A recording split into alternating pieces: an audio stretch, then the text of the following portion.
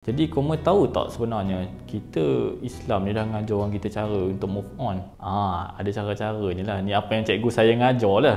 Move on ni antara faktornya sebabkan pemikiran kita lah sendiri. Belief system. Kita selalu mempercayai bahawa dia lah satu-satunya memberi kebahagiaan pada kita selain pada ibu bapa kita.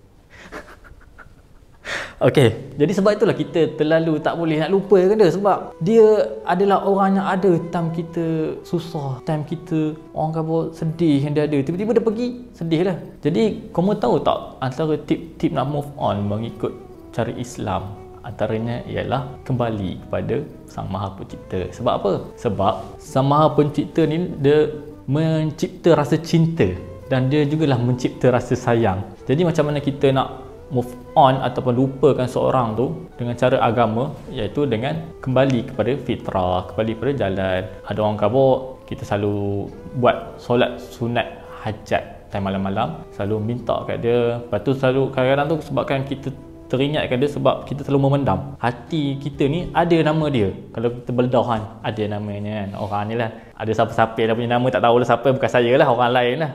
Jadi kita selalu buat solat hajat supaya satu time solat hajat tu kita sendiri dengan Tuhan.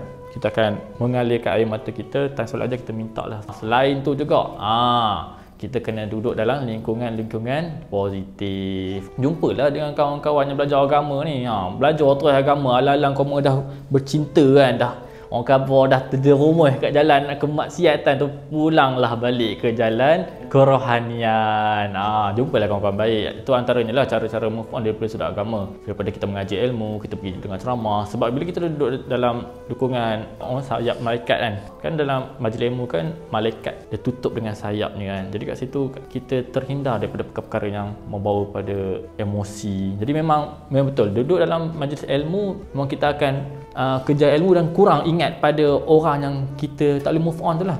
Itu antaranya lah. Jadi kalau contoh orang tu dia nak move on dia nak balik pada agama cuma dia rasa diri dia ni terlalu kotor kan. Terlalu orang kata saya ni terlalu jijik untuk pul ha, saya ni banyak dosa saya buat kan. Tak boleh lah saya tak boleh lah ikut cara agama ni kan.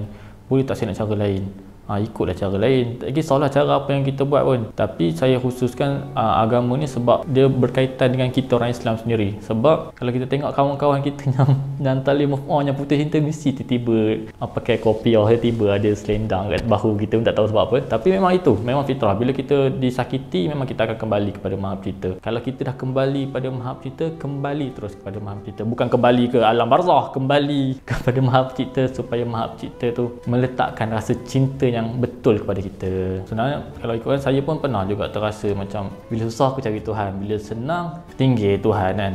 Ha. dia memang itu memang fitrah manusia. Memang kita tak boleh ah, lari daripada sifat tu. Tapi selagi mana kita ingat pada Tuhan kembalilah pada Tuhan. Memang itu fitrah ada dan kalau kita dah kembali pada Tuhan ingat stay terus duduk terus. insyaAllah duduk dalam lingkungan. Yang paling penting lingkungan kita lah. Lingkungan positif kawan-kawan yang selalu ajak kepada kebaikan